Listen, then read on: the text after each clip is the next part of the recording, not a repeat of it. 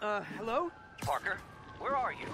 We must run through the demonstration at least once before the grant committee arrives. Uh, yes,